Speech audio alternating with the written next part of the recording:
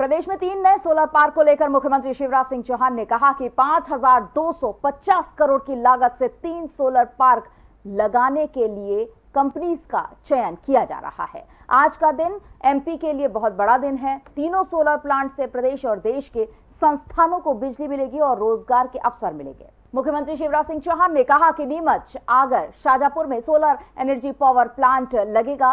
Bid में अब तक का सबसे कम रेट आएगा।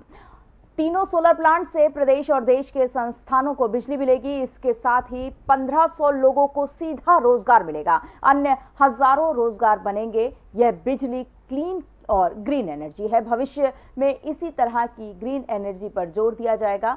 बिजली के मुद्दों पर उन्होंने कहा, बिजली संपूर्ण है। नर्मदा के बाँध खाली हैं। कोयले की खदानों में पानी भर गया है। इसीलिए दिक्कत हुई है। कोयले और वैकल्पिक बिजली का इंतज़ाम कर रहे हैं। संकट है, बरसात कम हुई है, कोल इंडिया को पेमेंट कर रहे हैं। ओबीसी आरक्षण को लेकर मुख्यमंत्री शिवराज सिंह चौहान ने कहा, हम 27 फ़ीसदी आरक्षण देने के लिए वचनबद्ध हैं, कोर्ट में बेहतर पैरवी कर रहे हैं, ज़रूरत पड़ी तो दिल्ली से वकीलों को बुलाएँगे। मध्य प्रदेश के लिए बहुत बड़ा दिन है, क्योंकि आज मध्य प्रदेश में पाँच हज़ार दो सौ पचास करोड़ रुपए की लागत से तीन सोलर पार्क, आगर 550 मेगावाट का शाजापुर 450 मेगावाट का, और नीमच 500 मेगावाट का, कुल 1500 मेगावाट के। तीन सोलर पावर पार्क लगाने के लिए कंपनीज़ का निवेशकों का चयन हुआ है। और जो बिड हुई थी। मुझे बताते हुए खुशी उसमें रेट्स भी। एक जमाना था जब सोलर एनर्जी के रेट पंद्रह, चौदह रुपया पर यूनिट हुआ करते थे। यहाँ दो रुपया चौदह पैसे तक जो अब तक का सबसे कम रेट वो आया है। ये तीनों सोलर पार्क से 1500 मेगावाट जो बिजली मिलेगी, उससे प्रदेश को भी बिजली मिलेगी। लेकिन ये बिजली, जैसे सोलर पार्क जो हमारा रीवा का है, वहाँ की दिल्ली मेट्रो तक हो जाती है। तो भारतीय रेल से लेके बाकी को भी ये बिजली दी जा सकेगी। रोज़गार के अवसर भी इसमें सृजित होंगे। और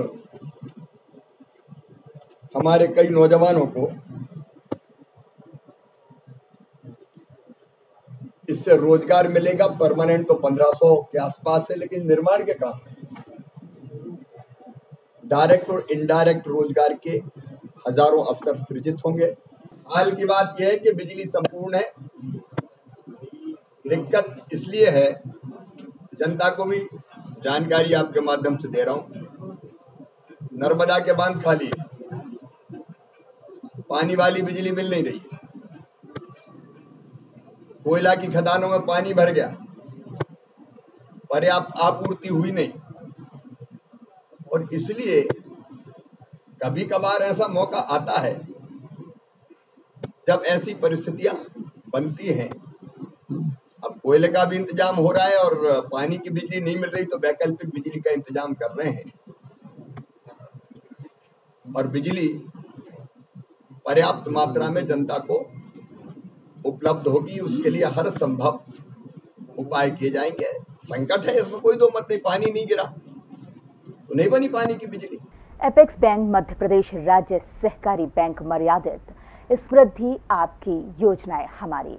वाहन ऋण, आवास ऋण, व्यक्तिगत ऋण, भ्रमण ऋण, उच्च शिक्षा ऋण, व्यापारियों को साख सीमा ऋण, त्योहार ऋण चिकित्सा ऋण परियोजना उपभोक्ता ऋण आभूषणों के तारण पर ऋण।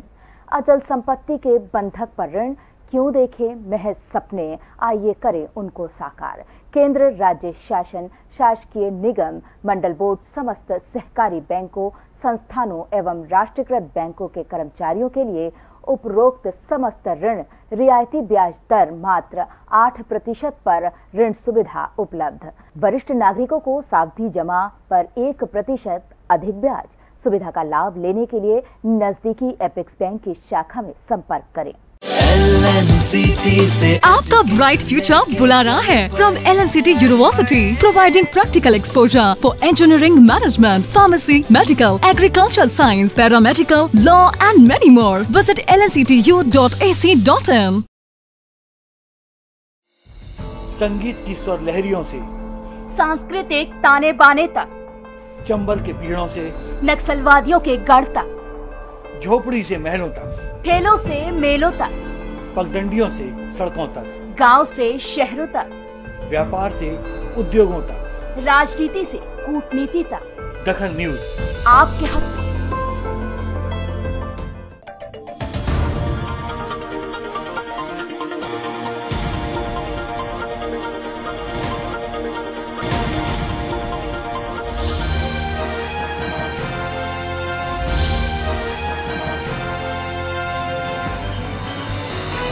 आप देख रहे हैं दखल न्यूज़।